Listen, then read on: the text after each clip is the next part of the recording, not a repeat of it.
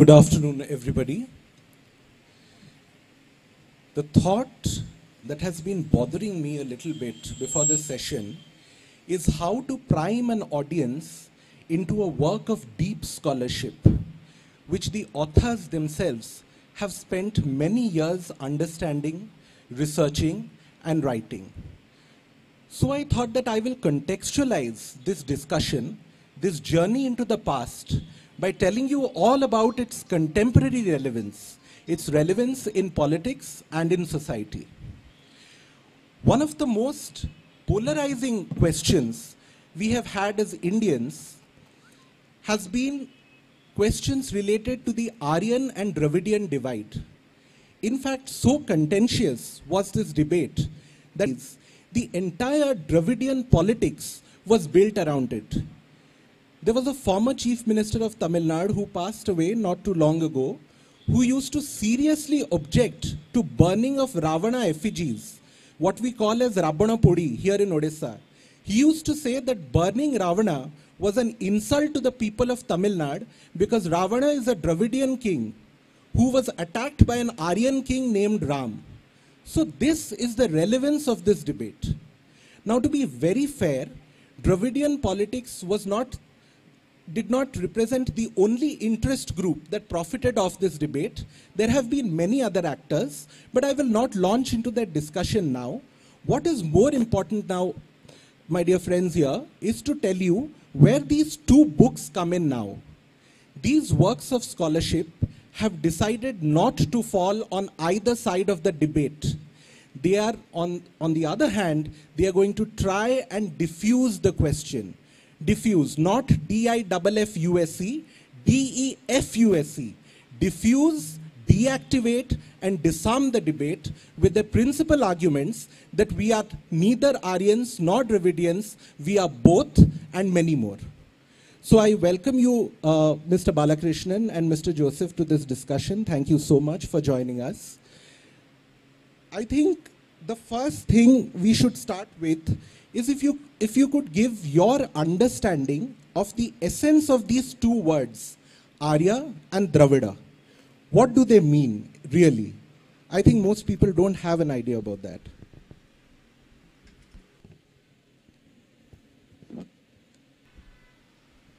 Good evening, everybody. I'm glad to be here. I would rather, even starting, before even starting with what is uh, Arya and Dravidia, I will take a clue which I was not expected that the conversation will start with Ravana. It's better in a way. In a way that has been uttered, then let me take off from there. When I came out of Tamil Nadu, uh, joining Indian Administrative Service, IAS, in 1984, when I went to Mussoorie, my, our academy where we are trained, some of my friends, educated, IAS passed from UPSC, casually they asked me that, uh, do you people worship Ravana? Then it, it's, I'm telling you, I'm not surprised this question was asked. I also saw some big smile and uh, anticipation. And let me answer this, very, very important thing. Recently also I have written about it. I didn't, I didn't expect this question. Then I answered that no, to my knowledge, I never seen anybody in, in South or Tamil Nadu worshipping Ravana. There is no temple for him. No, no, but uh, I am told. I am told. This is, uh, I am told told by an IAS educated a civil servant. Let me come to the truth. After that, life took me here and there. I have, as in the election commission, done 30 state election, just concluded Uttar Pradesh election, UP elections I have done twice. When I was doing, there were 70 districts, now 77 I understand. All the 70 districts I visited, all the districts in Madhya Pradesh, Bihar. In the process, I have traveled all over the North India. For your information, just outside Delhi, uh, Uh, just outside Delhi, near Noida, there is a temple where there is a, two groups are fighting whether to permit Ravana statue to be formally installed, not installed, because Ravana is worshipped there. Second, go to Madhya Pradesh. There is a place called Mandsaur. Mandsaur is a district you must be aware thing. People say that it is named after Mandodari. It is the birthplace of Mandodari. The Ravana is his son-in-law of Mandsaur. And there is a statue which is 36 feet high for Ravana in Madhya Pradesh.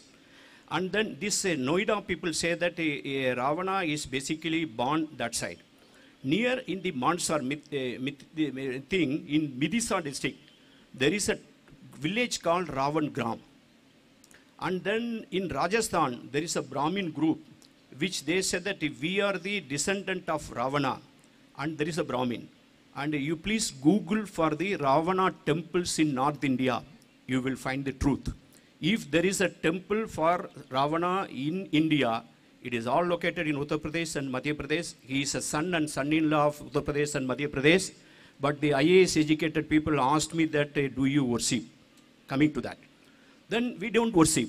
The, to my knowledge, the southernmost Ravana temple is located in Bhadrachalam side of Andhra Pradesh, just other side of the uh, Malkangiri, where this Dandakaranya meets, sir, where this all the Ramayanam events are put. Then I searched for it. Because of this question, when I was collector Mayurbhanj, I started searching for a, uh, one person. Sorry, I have to take this question this way only to make it interesting.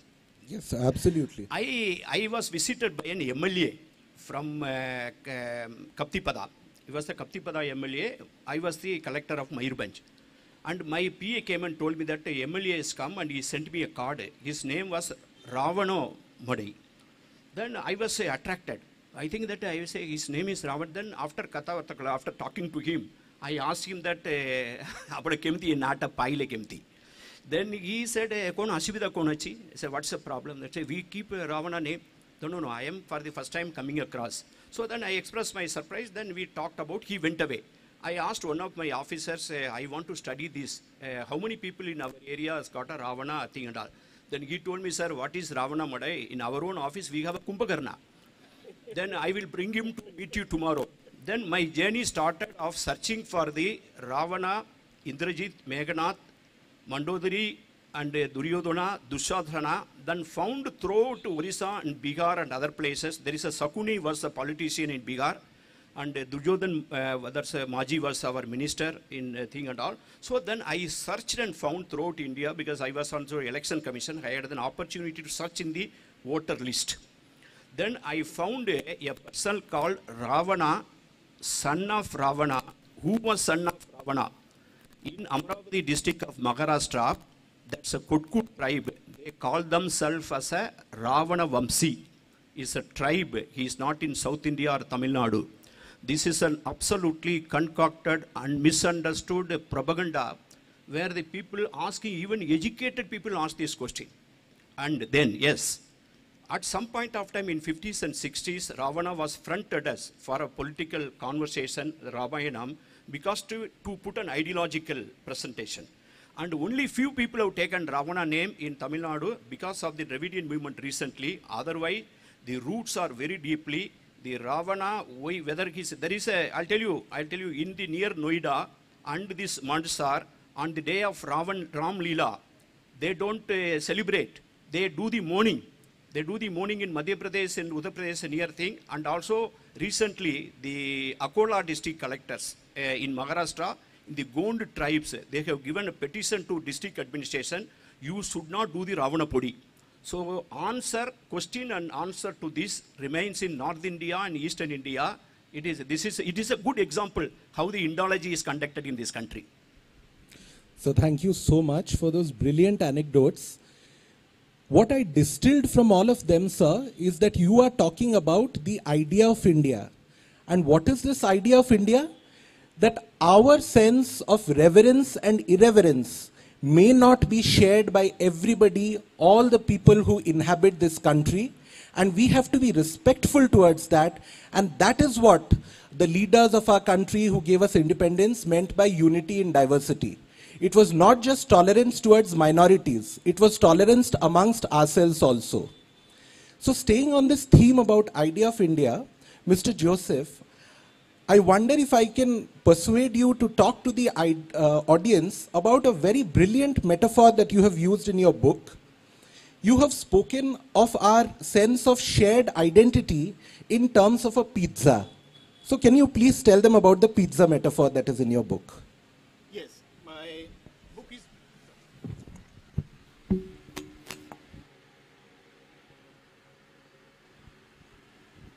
Thank you.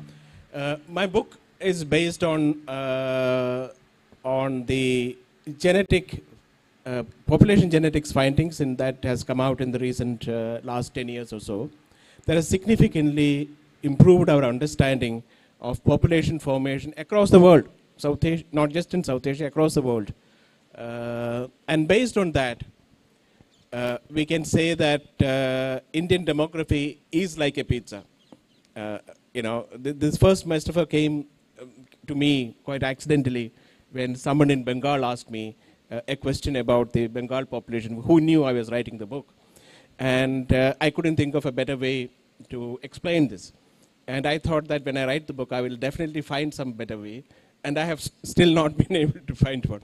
The pizza analogy is that the base of the pizza is the ancestry of the first Indians or the people who uh, arrived in India around 65,000 years ago as out of Africa migrants. The out of Africa migrants who came out of the first population group of a few hundreds of Af- African people who came out of Africa around 70,000 years ago, then went on to populate all of the rest of the world or the next until the 16,000 years ago, which is when the last continent, the Americas, were populated. So, as part of this out of America migrations, the, the, the, these people reached India, now we know, around 65,000 years ago. And the surprising thing is that this is the largest ancestry that we still have.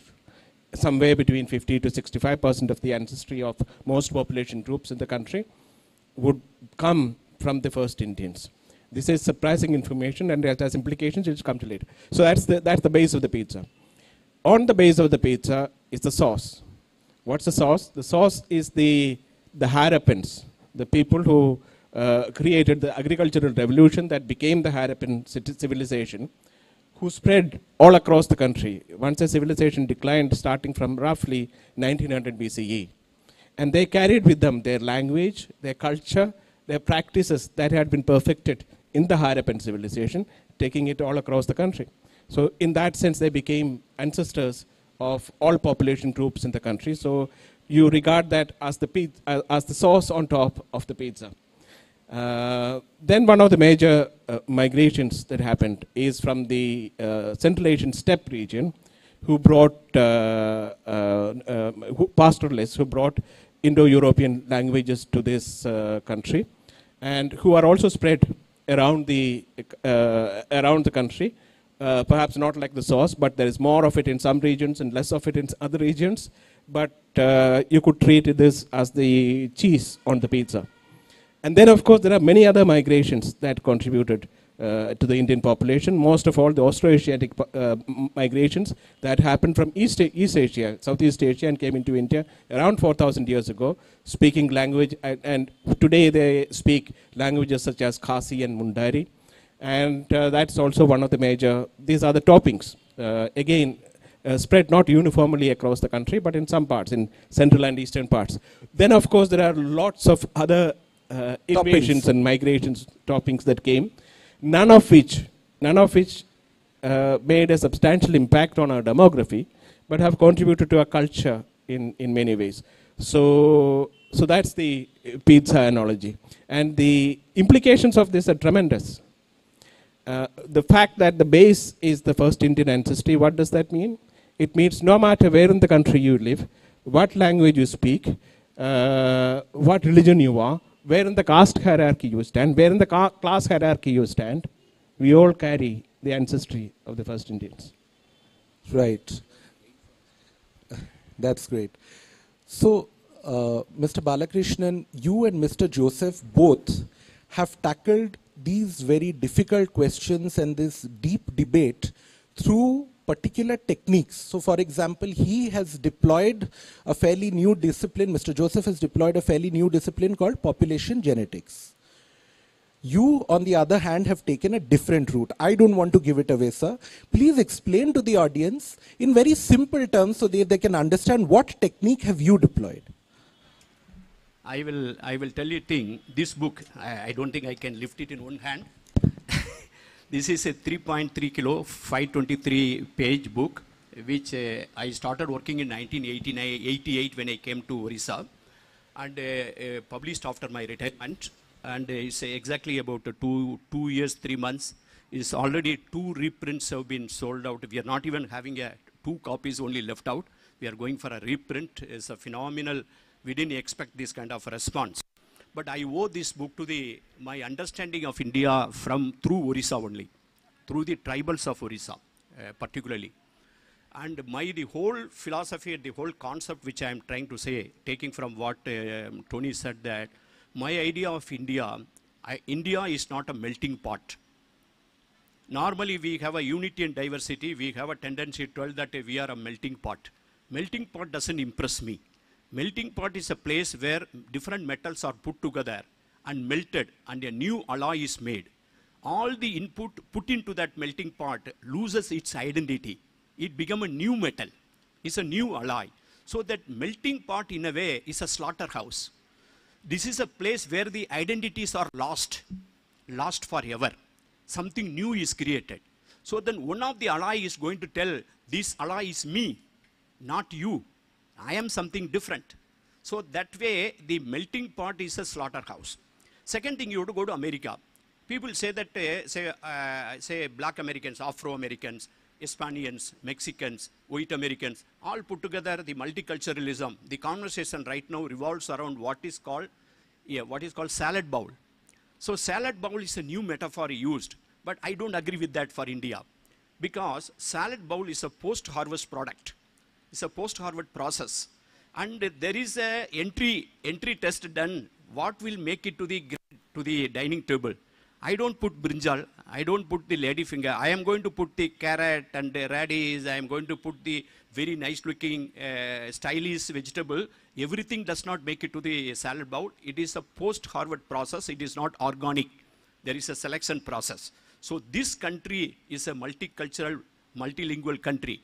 I use the met metaphor, new metaphor called India is a rainforest, tropical rainforest. Rainforest is one thing, whereas multiple layers.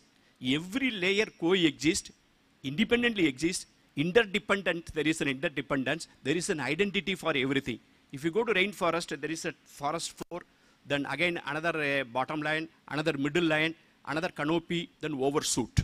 So that way, Indian culture, as he pointed out, nobody can claim that uh, this is my product, uh, this is a history starts with me, culture starts with me. These are all cockle bull story. India is a rainforest, and that is where we start. So the tribals taught me. The, I went to Koraput to work. I, I understood the tribal culture. Today, if you want to give a credit to the domestication of rice, you have to go to the Jeypore Valley and talk to the tribes of uh, Orissa. So that is the reason Orissa I respect because of it is a multicultural wonder. If you want to give a pluralism, a living example in 62 tribe, they belong to three different linguistic family, not three different languages. Austro-Asiatic, Dravidian, and Indo-Aryan group live together in India, in Orissa. In undivided Koraput alone, 52 tribals.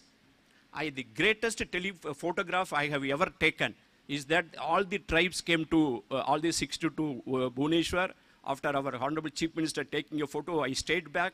My lifetime aim, that photo I have taken, that photo is the only greatest photo I have ever taken in my life. Because this tribe, this multiculturalism, you cannot iron it out. So the articulation right now, what is happening in India, is the exclusive versus inclusiveness, pluralism versus exclusive, mono kind of articulation. So this book talks about, articulates about the uh, various kind of. For this, I have developed a various methodology. Indus Valley script, uh, what is written, cannot be deciphered. What is written in Sumeria was deciphered because of something called Rosetta Stone. It's a bilingual script. So you use this uh, dead language, read a dead language through a living language script. In, unfortunately, in Indus Valley civilization, no bilingual script is available. So you have to make a guesswork through the, I deploy something called understanding the body language of the culture for which I have used the toponymy. That means toponymy names, that means study of the names. When people migrate, what they carry? They cannot carry their building. They cannot carry their hills. They cannot carry their uh, vehicles. They cannot carry. They carry their memories. They carry their gods. Look at the Jagannath story. How Jagannath Chalchali Asale. Where from there, Then, uh, so you know that the story how the Jagannath from one place to another place. These are all metaphors. You can see that how the memory travels. Like this, when the people travel, they carry their place names. Europeans took the place name to America. Afro-Americans took the Africans took the place name to the uh, Americas. And like that, Parsis took the Iranian place name to India. Like that, I used the method and found out some 400 place names celebrated as the unique identity of Tamils in the 2300 year old Tamil literature, which is not known to any other people, any other language. These place name frozen as a fossil of the past in the Indus Valley area. They carried and put it in their first literature, celebrated as their identity. Even today, it's a living tradition in Tamil Nadu. I asked a question what is left out, what is brought. So topom- is the only one example. I will use something called pottery. In the archaeology, pottery is in one segment which is totally neglected. It's a neglected because the truck and truckloads of uh, pottery will come. They will not even store it. I used a technique called pot root. I have meticulously put all the pot varieties in India, painted grey ware, PGW, black and red ware, BRW, northern black polished ware, NBPW. All these occurrences I meticulously put on a map and showed that how these particular represent the interaction between two different group of people in the post-Indus site. And so I use a linguistic method. My study is a basically multidisciplinary. Bit of anthropology, bit of linguistics, place name studies, and, uh, and sociology. And put together, I have put a various uh, examples to place my argument. My argument is not in uh, favor, uh, celebrate somebody at the, at the cost of somebody else. Ultimately, I say that it's a rainforest, don't tell. See, Jagannath Mandiro, the, the highest position cannot claim that I am the whole mandir. There is a foundation. You cannot, you cannot forget a foundation. eh? You cannot talk the idea of India without talking about the tribal. If you treat your tribal, the, all your past as nothing, everything started with me, I only came and civilized, that story can be, could have been told. You know that for your information. Where we start our history. We start our Orissa history only with the Kalinga War. As if before Kalinga War, there was nothing. They, uh, who fought in Asoka? So people know only Asoka. For your information, till 200 years back, Asoka was unknown to Indian people. Asoka was found by a princeps. There is a person, two, three people worked very hard and read all the uh, Brahmi thing. They gave a name called Asokan Brahmi. They deciphered the name and they came out with the uh, information about the Asoka. Otherwise, we will not know Asoka also. So we had an history without Asoka. We had an history without Mohenjo-daro and Harappa. Suppose imagine John, John Marshall did not bring to the our knowledge about the Harappa and Mohenjo-daro. We would have started our entire understanding from the Vedas only, which is not a fact. That's what I, this book is trying to say. If I may come in for a, for a second. Yes. I think for those who have not yet uh, read Yeah, my voice clear? Is my voice clear? For those who have not yet read the Journey of a Civilization, I think what it does brilliantly is is answer a question that has so far been left unanswered. What happened to the people of Harappa? We know from genetics, we know that they mixed all over, uh, and uh, their ancestry is today in everyone and that we can also therefore guess that they took their culture and language and practices with them. But the question is, what evidence do we have for that spread and that language after the uh, decline of the Harappan civilization? And by using place names uh, and absolutely, to me, the most fascinating parts of Journey of Civilization has been the, uh, the use it makes of Sangam literature. And the most stunning fact was the Sangam literature has imagery that cannot be uh, related to southern India, like uh, like camels that eat eating dry bones, and uh, a poetry that that uses the analogy of uh, of a, of a pile of things on the seashore to a camel lying on the seashore. You won't never see a camel lying on the seashore in Tamil, in Tamil Nadu or Tamilagam larger. So by using a variety of things, not only in, in, in, in Sangam literature, but as well as in the pottery across eastern India and central India, um, and also uh, practices like the wearing the uh, buffalo horn uh, dress by the tribals in, uh, in Orissa, for example, you can see patterns of behavior that were visible in the, in the Indus Valley civilization that are now today visible across uh, a lot of southern India and eastern India, and which have been crystallized and preserved in the Sangam literature because I'm sure we have lost a lot of other literature, but Sangam literature still survives. And that has the. So I, I just wanted to give a. Uh, No, absolutely, sir. So, since you've already mentioned Harappa, Mr. Balakrishnan, would you care to tell us about what insights does the settlement give about what kind of a society Harappa was? You've used a very beautiful phrase. It represents an urban climax. What does it mean, sir? See, Harappa represent a few things, like uh, anything which India had not seen before, before John Marshall says. Harappa, uh, it's not that everybody, 100% population was living in urban cities, but it included great urban cities. Egyptian civilization is about pyramid. Pyramid is about kings and their afterlife. The people were buried, slaves were buried, women were buried. Sumerian civilization about the temples, but Indus civilization was about the civic communities. There was no temple, no pyramid, but drainages. There was a toilet. There was a kind of good buildings, drainages, big drainage, small drainage. So it is about a civic life. That means there is a great bath, granaries and all. Number one, urban climax.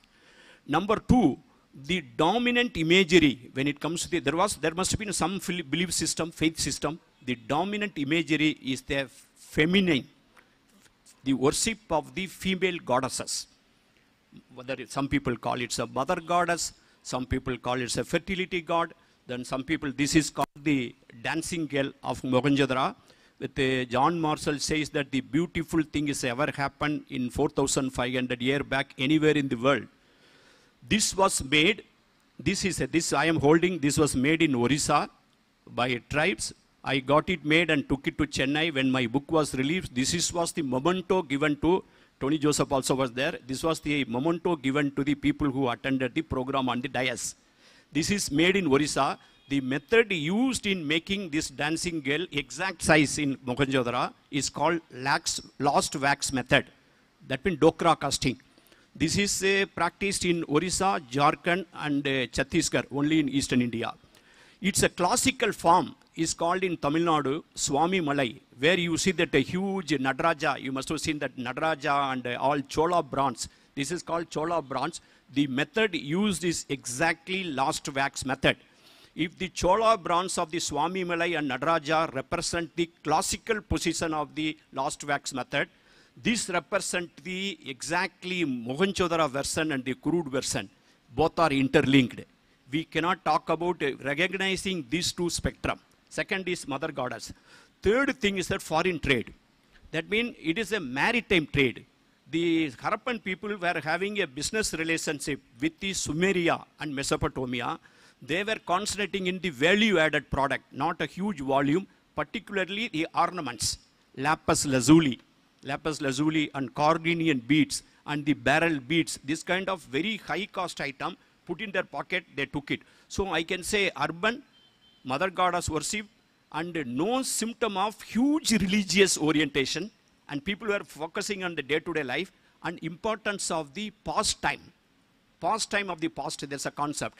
Lot of toys, children playing, importance for the physical culture, uh, taking bath, there is a public bath, small, small toys. So it's like this about four or five salient features are found in a thing which is not, what is not found. Nowhere in Indus civilization, Harappa, Mohenjo-daro, the evidence for horse is found.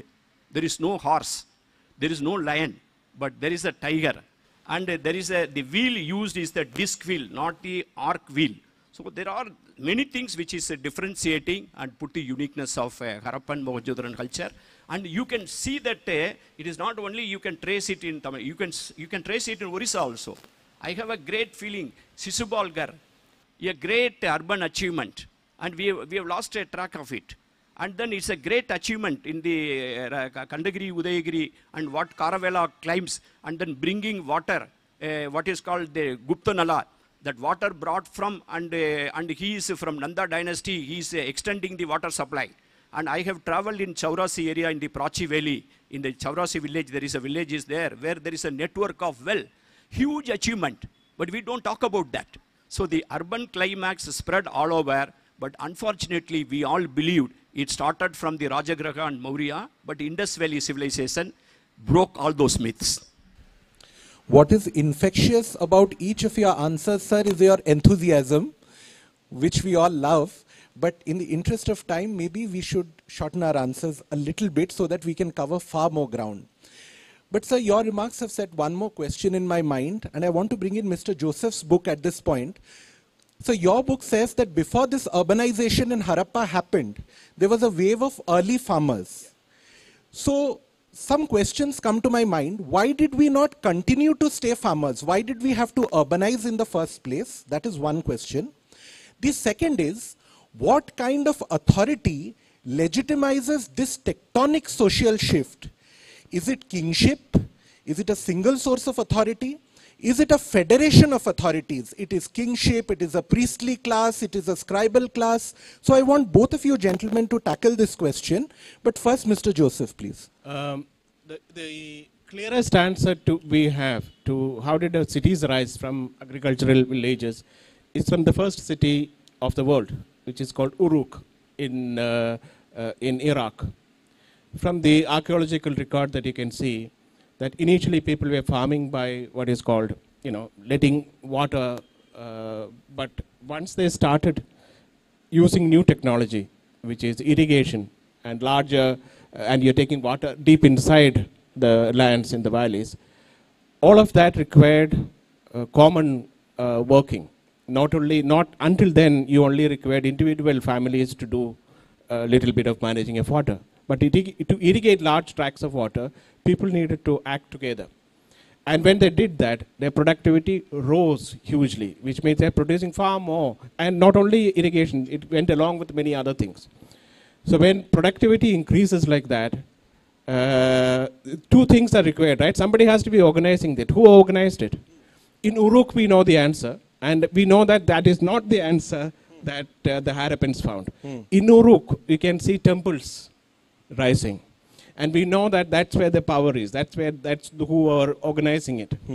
And as they, as, as there is far more than what one person can uh, consume or one family can consume, there's a lot more, which means to use a social science term, there is surplus. Somebody has to be acquiring the surplus. Who is acquiring the surplus? The temple. The temple becomes the center. The temples become larger, more luxurious, but the, but the houses do not change. So we know how it arose. The driving force being there is greater productivity, so there is possibility for acquiring surplus, which earlier there was not. Because if you are hunter-gatherers and you are, uh, you do not have any surplus to, for anybody to acquire, so societies are more equal. So when you are into agriculture and productivity increases, societies can afford to be. Can it's possible for it to be unequal, and that's what happened in Uruk.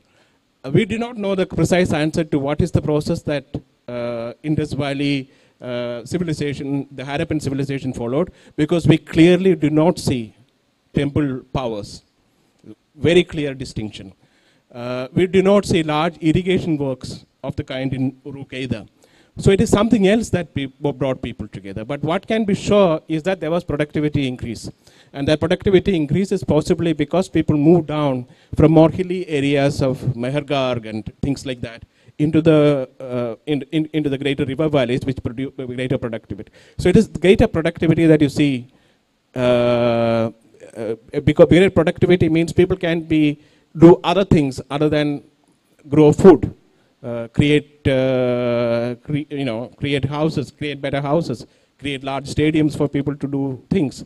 So that's what led to. But the process that Harappan civil people of the Harappan civilization used, we do not know. We know that it was not the same as in Uruk. So I'll come back to you, Mr. Balakrishnan. All this, does it suggest that perhaps, maybe, this was a less unequal society? And I'll share a little bit of research I, I did for this discussion. Uh, One of the most important plays of Tagore happens to be written in 1910, and it's a play called Raja. And it talks about an absent king. The people are the king. That's how the play goes. And it is believed that Tagore took inspiration for this play from the Upanishads.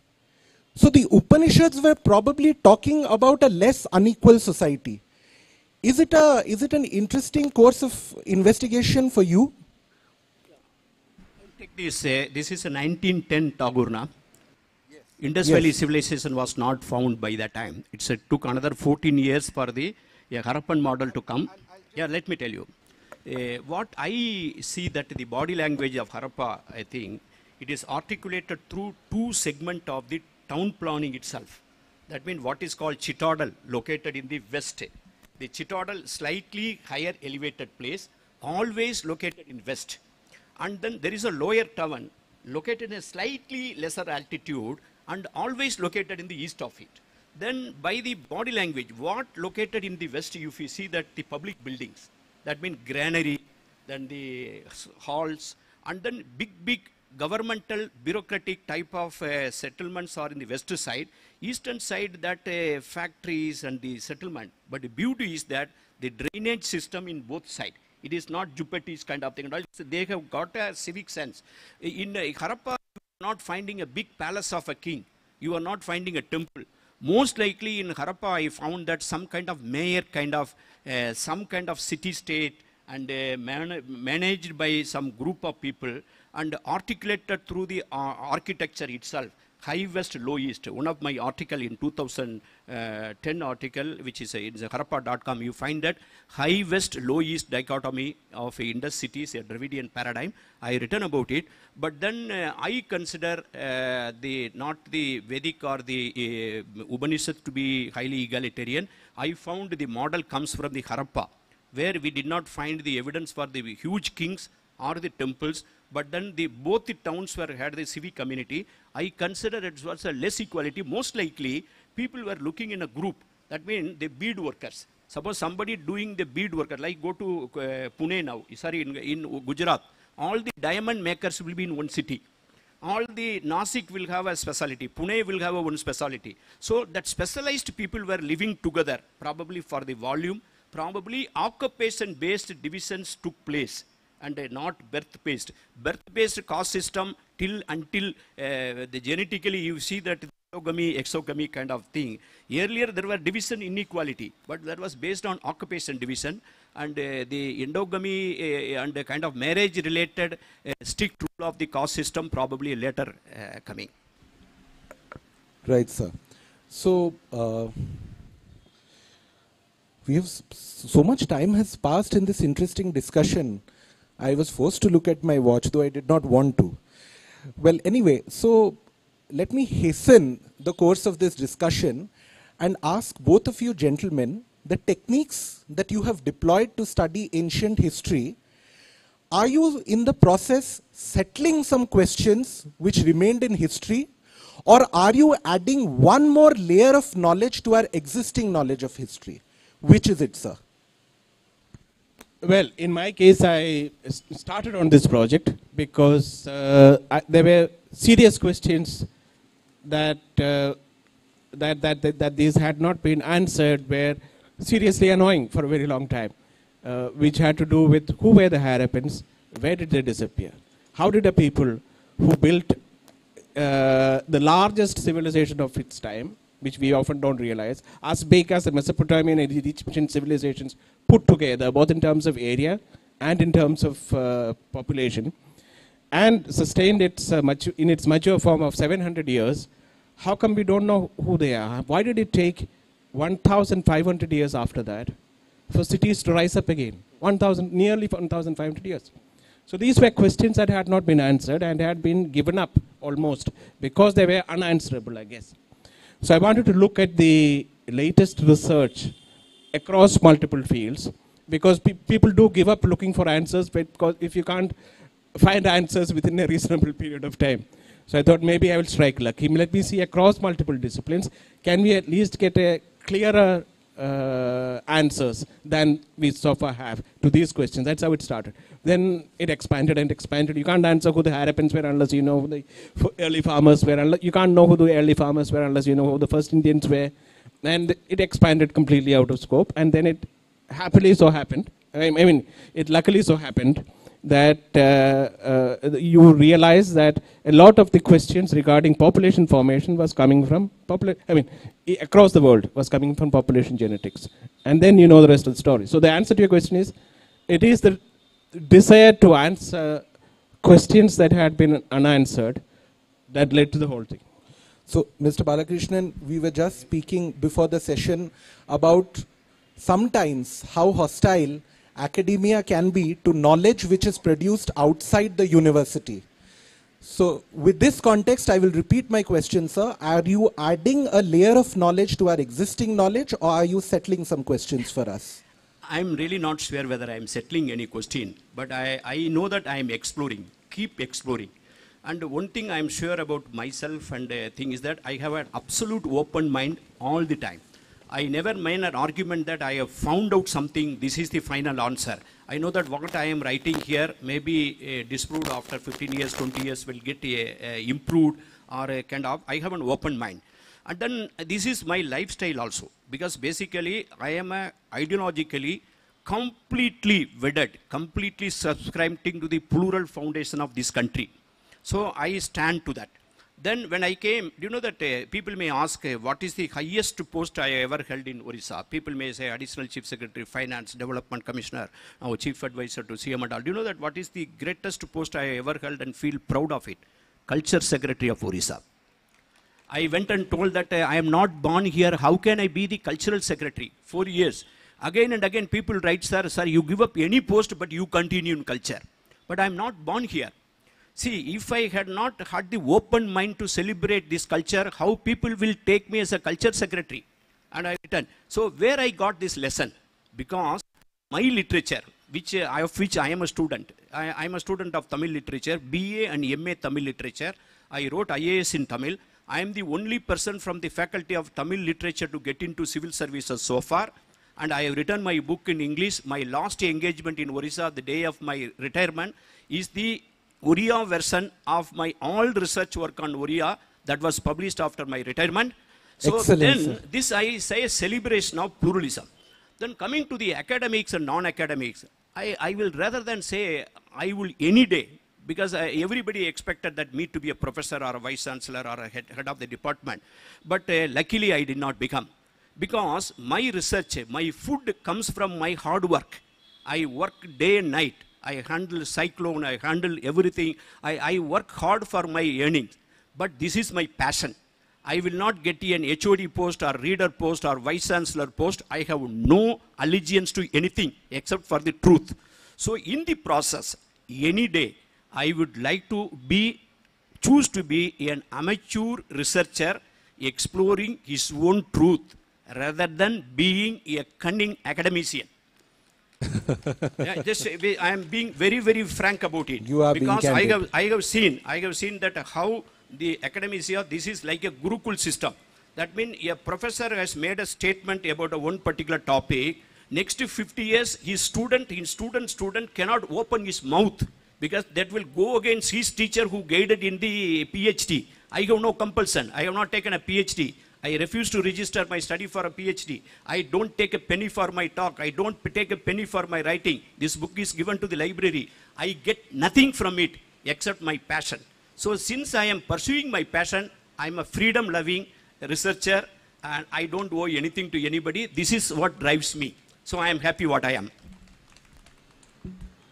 Absolutely, sir. I, I, I have also thought somewhere at the back of my mind that after the post of the CM, maybe the next most important post should be that of the Minister of Culture in every state and country. Come on, don't, don't. no, But I'm- anyway, I'm- we'll- we'll I'm quickly move- enjoying being a writer, researcher, uh, every bit of it about Orissa, about India, about Tamil literature. I enjoy every bit of my existence. I'm a very, very contented person. Thank you very much.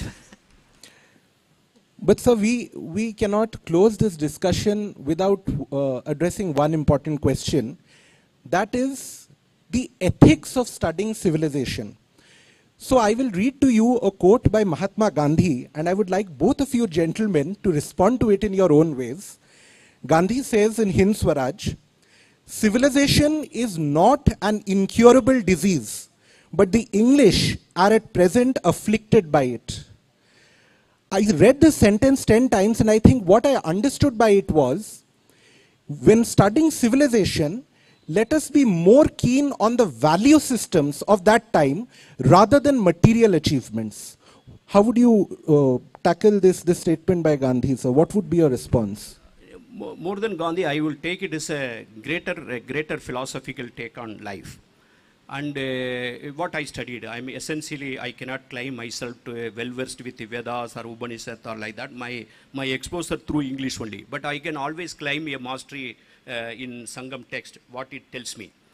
It is told uh, in, uh, in one, one couplet in Sangam literature, 2400 year old, it says that all the places are your places, all the people are your kith and kin.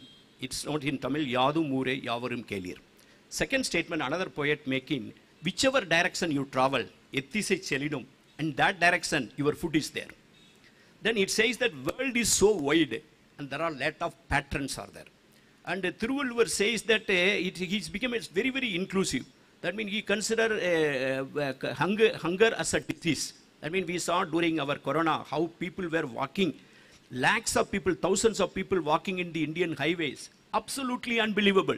So whereas, whereas says that, uh, Thiruvalluvar says that if somebody has to beg and eat and fill his stomach, let the man, man mean or God, whatever it is, made this world, let him go to hell. This is what the Sangam literature says.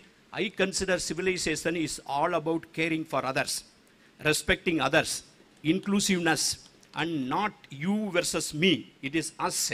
That I call it a responsibility. The accountability is the civilization, and the responsibility is the civilization. I consider Gandhi felt that only because uh, what he meant probably when you say that inclusive, whether you go to certain religion in the world, say that it is my God, there is no other God exists. Probably, if you look at that, uh, everybody they follow their own faith. Uh, I have no problem with that. That kind of inclusivism he articulated, and uh, that is my take, irrespective of what Gandhi felt. Right, sir. So civilization, the, pers- the, the knowledge of civilization should not be you versus me. That is the essence that I have distilled. So I will reframe the same thing for you, Mr. Joseph. Would it be fair to say that the Europeans sadly have used civilization study as a martial discourse, always to signal their superiority, somebody else's inferiority, and that legitimizes their invasion of other countries and other people? Um, I think that, that uh, I mean, I, I'll go back to the uh, uh, uh, Gandhi's Gandhi quote. quote. And I think what he was trying to say, in as I understand, as I would understand it, is that uh, feelings of superiority and inferiority are a problem, are an affliction, and uh, we have seen it in Europe uh, in the last century, when feelings of superiority of uh, of nationalities and aggressive nationalism, we have seen what that led to. Since then, it has spread around the world. They may have uh, been one of the most, one of the most uh, so far atrocious forms were seen in the last century, but I think unfortunately it has spread all around the world. And the antidote to this, I think, is a better understanding of where we come from. Uh, and that's why the study of history and even prehistory is important. I would like to quote, make two, take two quotes about uh, why study of history is important. One is by Terry Pratchett, the British writer, who said, unless you know where you come from, you don't know where you are, and unless you know where you are, you don't know where you're going. So, which says the study of history is important for you to look, locate yourself, which is a positive way, which is also important, which says that, uh, so you have to have a realistic understanding. Uh, uh, uh, for, to, to borrow from another discipline, uh, you need to know that the earth is not the center of the universe. You need to know that the solar system is not the center of the universe. You need to know that man is not that different. Modern man was not all that different from the other Homo sapiens. We need to know that all of uh, life is tightly knit together. We need to know that cultures are linked together. So all of that would have saved Europe then, last century, and many others today from following the same path. That we are interlinked, uh, that we are not as different as politics often makes it out to be, uh, and that we are not one superior to the other. Uh, we, all our families, our families are special to us. Of course, it has to be. That's the right way. And uh, to say that your family is superior to all other families is a different matter altogether, and it's not defensible. And that is at the root of aggressive nationalism the world over, and that has to be fought with better understanding of our prehistory, which, as I have, as we have eh, discussed today, leads us to the clear understanding in, in the case of India, as in the case of others, that we have created a common civilization out of multiple migration histories.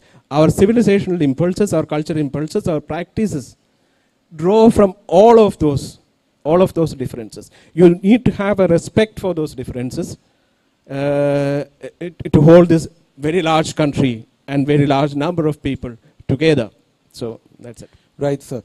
So, what I'm again distilling from these brilliant insights that you have given is that for those who are interested in pursuing knowledge about who they are, the starting point is to acknowledge I am not better than anybody else, and knowledge begins from there. So, on that note, I would like to invite questions from the audience. I think the audience has now been primed. I, I notice a hand up there already. Can the mic travel to, to these gentlemen? So please identify yourselves by name and ask a crisp question or make a crisp remark. Hello, uh, this is Sujit Mahapatra. Uh, Mr. Joseph, you made a point about Uruk. Yeah. And I would just draw from there. Yeah. You know, generally it has been seen that civilization has been founded on the graveyard of forests. Yeah. Like, for example, in the Sumerian epic of Gilgamesh, his first enemy is the forest which he pulls down. Yes, Rome correct. was founded on forests. Correct. We normally tend to idealize Indian civilization and we talk about it as very environmental. Yeah. At the same time, we had the Khandavan episode, which was one of the first instances of ecocide. Yeah. Uh, so I would like to ask both of you because this is a question I've been struggling with. Yeah. So was Indian civilization, uh, or what we call Indian civilization, was it very different from the other civilizations which were, as I said, founded on the graveyard of uh, the natural forests and wildlife, uh, or was it very complicated? To uh, I think to answer this question, this particular question about environment, uh, forests and things like I, I do not think there is a, there is any evidence that shows that we would have followed. Uh, there's there's nothing to base it on, but we have real things to base on many other claims, many other things, such as we do not have the tem- tem- large uh, temples that the West Asian civilizations had, or even Egyptian civilizations had. We do not have ostentatious statues of kings. Nobody. Even the largest, even the priest king that you have Saudi, you would really, you should go Google and check and what its size is. So you're saying we did not, we did not, uh, when you say we, I mean the Harappan civilization, the people of the Harappan civilization, we did not seem to have idealized leaders if they had specific leaders to the point of putting up huge statues of them. Not, and not because they didn't know how to build big things.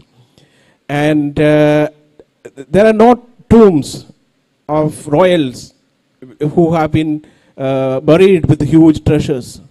Nothing. You most, at most, you will find some, you know, some food that has been kept for their onward journey wherever. But uh, not because they did not know how to build the treasures, because the treasures that you would find in the West Asian civilizations, many of them came from, uh, from the craftsmen of the Harappan civilization. Uh, we know that there are no large temples. We know that in all the seals that you have found, you will not find a single seal uh, that had uh, human on human violence. You would see man against animal violence. You, against, you will see man against superhumans, uh, beings and violence. So all, see all kinds of violence, but you will not see man against man violence. And uh, this is not to say, as many people say, that uh, the Harappan civilization was free of violence. I don't think so. That's not human. They, were, they would have ceased to be human for there not to be violence.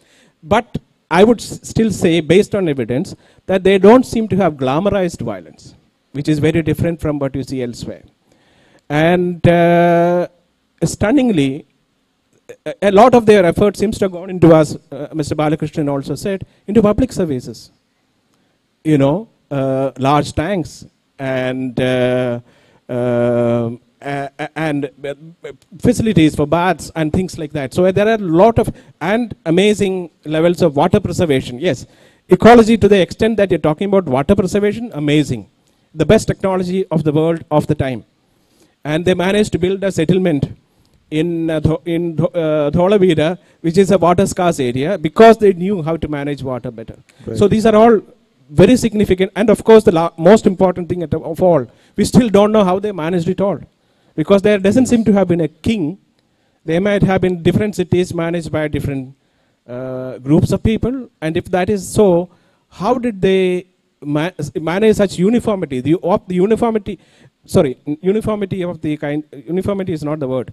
Many of the standardization of weights and measures and things like that, which you don't see in the in Mesopotamia. How did they manage that? These are mysteries. So obviously, we, the common assumptions that we have about the kind of societies we need to have to create large civilizations is probably faulty because we do not yet have understood that there is another way of building a civilization uh, without following the West Asian or even the Egyptian model. So, what it is, we have to find out. Maybe if you read Sangam literature more, we will. Who knows? Right. So we have time for one more question, and I would like to give preference to the person who wants to ask Mr. Balakrishnan a question. Yes, sir. The gentleman in the yellow shirt.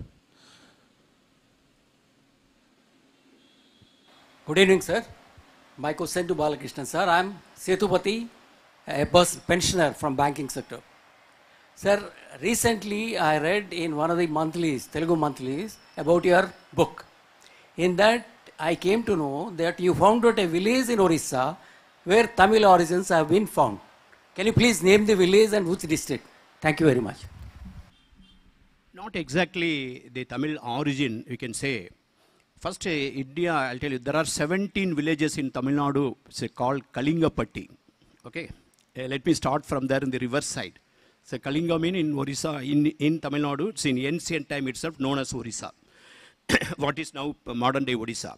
In ancient Tamil language also, the word Kalinga mean the dress material, fabric. Fabric is called Kalingam. Udai and Kalingam. These are the two terms used in Sangam text 2000 year back. And then even today in Surat, maximum weavers are from Ganjam. And this particular weaver settlement is called Kalingapatti in Tamil Nadu. Kalingam was known as dress and all this, so that there is a huge amount of uh, people. But uh, at the same time, where my research started, uh, I, I, never know that it has uh, been published in a Telugu uh, magazine and all. When I was working in Koraput, I was traveling in my jeep.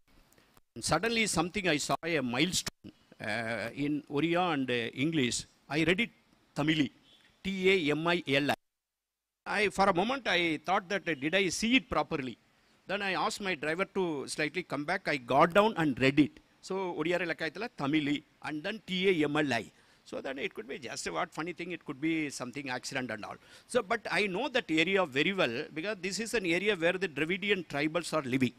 Within Orissa, for example, that Kui, the Kandhamal Kui, Kubi, Dongriya Kond, and uh, Malkangiri Koya, and uh, Duruvas, and uh, Olari Gadavas in Salur side, and uh, then this side in Sundargarh, uh, Oran, Oran people, all these people are the Dravidian language speaking people. The Oran Lokongro, that's uh, their name, uh, language is Kurukh.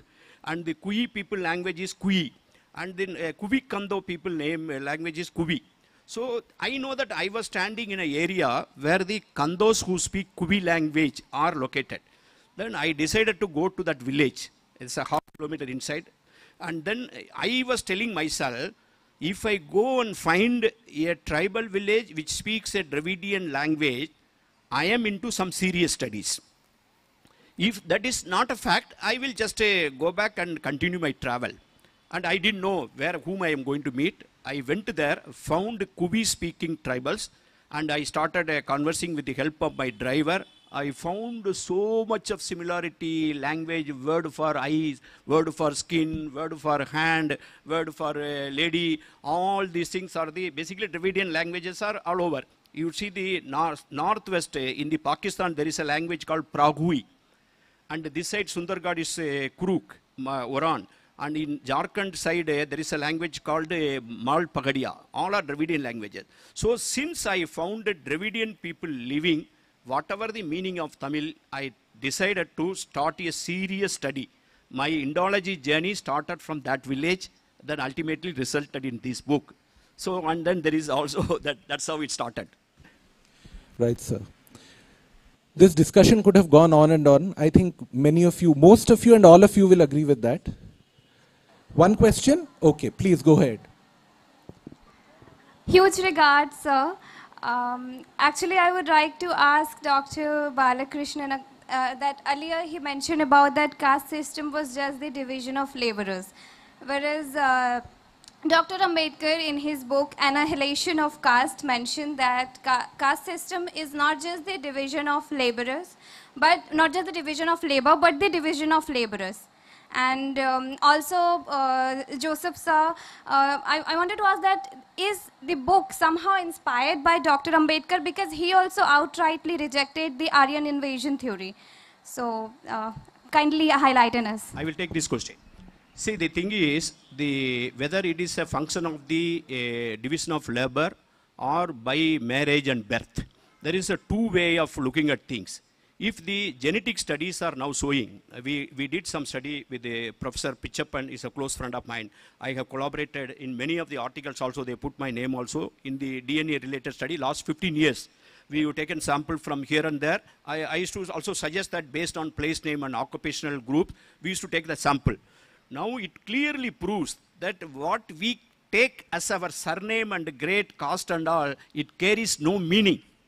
Absolutely, if you get nearer to the uh, DNA, then the, the I, I, I just written recently a poetry in Tamil that grandmother knows the grandfather's name. Forget it. So it's very simple.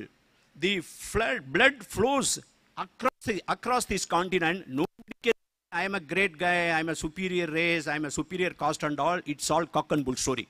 The DNA does not support that. It's a beginning and end of it. But then it become, the caste system become perpetuated and birth-based when the marriages were controlled mar- when the marriages were controlled, because we had a, we had a, this society which is Sangam literature puts before me, the kind of society, the ancient society is an absolutely people falling in love and getting married. And it's a, it's a, when it comes to the marriage, Indian society was not what it is today. It is not the matrimonial ad. If you are looking for the fair looking Amako Kotra and Amako Kamare Koriba, this kind of uh, thing was not happening.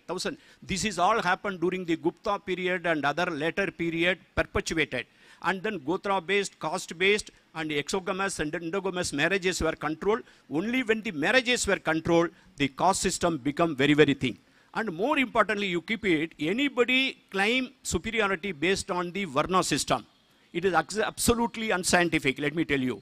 Because that if you look at the great authors, you go near to that. If you are a great author, then either you happen to be somebody else, then his parenthood, something like that, something, some story is told about Valmiki, some story about Vyasa. The great scholars say, they come from everywhere, every corner, every segment. Then you build a story around him. You build a story so that you justify why he is knowledgeable because there his parenthood was something like that. So these are all uh, basically built up stories and more and more science is throwing uh, light on it. And of course, I am worried whether we are actually making a good progress towards uh, basically removing God. So long as, let me tell you, forget about civilization concept. So long as untouchability is there. So long as a fellow human being removing the, the fecal material of another human being, so long as a human being getting into the sewage and dying because of the toxic gas, and in spite of the technology available, we can never claim ourselves as a developed society. There is no doubt about that. Right. So I'm sure many of you have other questions. uh, you may perhaps approach the authors af- after we get off the stage. Our patient organizers have indicated to me that we must bring this session to a close, and I will quickly do so with a personal anecdote to pitch why you must read these books. My name is Sampad Patnaik, but I am half a Malayali. I grew up in a joint family, and when I was very naughty, some close relatives used to tell me that you're behaving like a Dravida. So see the bias. So these debates are not happening in obscure places, they are happening in your family. I was 10 years old at the time and I did not have an answer, but today I do because I have read Journey of a Civilization Indus to Vaigai, because I have read Early Indians by Mr. Joseph. So I would encourage all of you to do that as well. Thank you very much, gentlemen, for your brilliant insights and thank you, audience.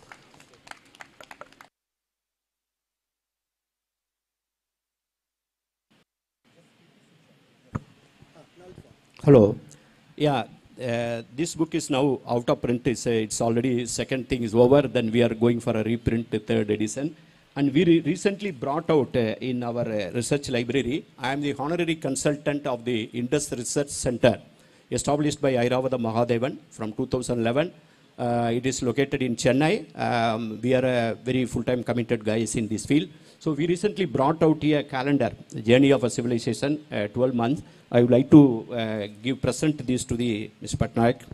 Thank you so much, sir. And uh, yeah, and uh, okay. Malavika is on dial. She's there. She's, okay, give it to her. Thank you very much.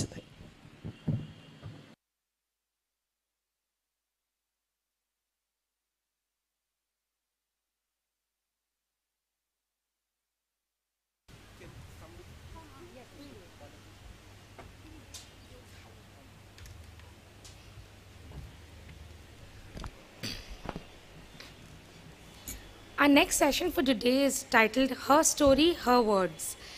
Yashodhara Mishra ji and Sanghamitra Mishra ji on the writings on women writing as women. They'll be in conversation with Hiranmai Mishra ji. I'd request all of them to come on stage, please, and I'll give brief introductions.